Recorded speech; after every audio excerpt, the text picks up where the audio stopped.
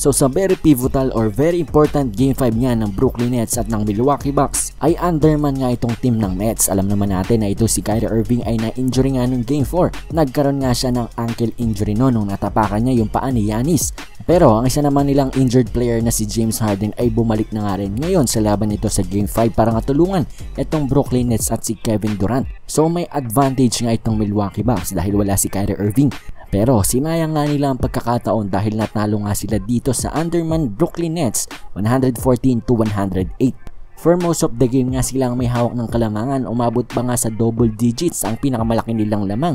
Pero hindi nga nila yon naalagaan at ayun, kumambak pa nga itong Brooklyn Nets sa likod nga ni Kevin Durant at ng kanyang legendary performance dahil meron nga siyang 49 points, 17 rebounds at 10 assists So triple-double nga ang kanyang tinala sa very important Game 5 nga ng kanyang team na Brooklyn Nets. Si Jeff Green naman ang sumunod na tumulong dito kay Kevin Durant with 27 points, 2 rebounds at 3 assists. Ito si James Harden ay medyo hindi nga maganda ang nilaro dahil 5 points lang ang kanyang in-score. Pero itong si Blake Griffin, very solid game nga dahil meron siya nga 17 points sa laban na ito. Alam nyo ba, itong si Kevin Durant, nilaro ang buong game 5, hindi nga siya naupo.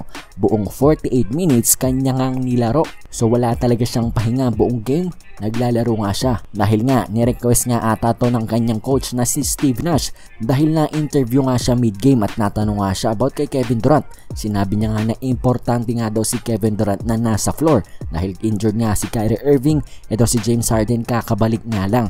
So sinigurado na nga neto ni Steve Nash na itong si Kevin Durant ay hindi talaga uupo para nga hindi bigyan ng pagkakataon ng Milwaukee Bucks na palakihin pa ang lamang. At nag-pay off naman yung desisyon ni Steve Nash na yun, coach ng Brooklyn Nets dahil itong si KD sa fourth quarter nga ay nag-umpisa na nga mag-take over sa laban na ito. Hindi nga siya napigilan ng mga Milwaukee Bucks defender.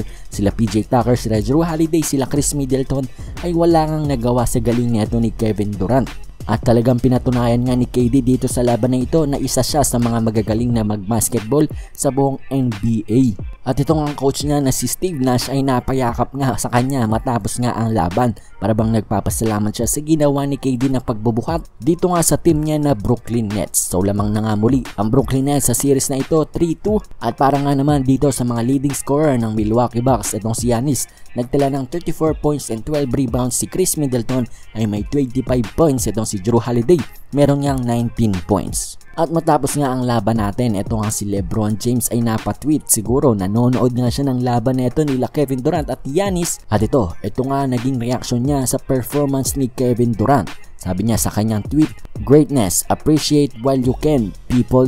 Hashtag KD. So binigyan puri nga neto ni Lebron James itong si Kevin Durant matapos ang kanyang 49 point performance.